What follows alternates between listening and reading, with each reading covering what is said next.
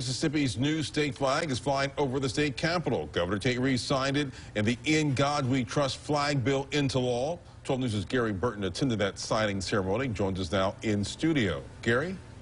Before signing the new flag bill, Governor Tate Reeves reflected on the year 2020, calling it a hard, isolating, and divisive year.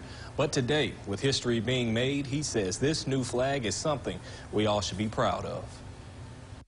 House Bill number one is law. The process of removing the state flag that held the Confederate battle emblem began last year. As of January 11, 2021, with all nine members of the State Flag Commission present, Governor Tate Reeves put pen to paper, making way for a new state flag.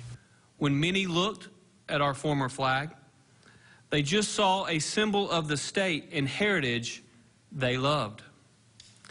But many felt dismissed diminished, and even hated because of that flag. Governor Reeves says to have people feeling this way is not a firm foundation for the state of Mississippi. He spoke on unity before signing the bill to replace the flag that's flown in the Magnolia State since 1894. It is done with the hope that we can work together, that we can put aside our differences, that we can be neighbors in this state and in this country. Today is a great day for the start of Mississippi. The 62nd governor of Mississippi, Ronnie Musgrove, says removing the former state flag took way too long. To live in a state where the flag does not represent you or who you are is a disappointment.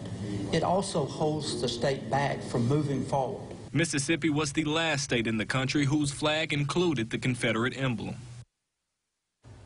And after signing the bill, the governor headed to the state capitol where one large In God We Trust flag was raised and then lowered. That specific flag will turn over to the two Mississippi museums and three others will fly above the state capitol. For 12 News, I'm Gary Burton. Back to you.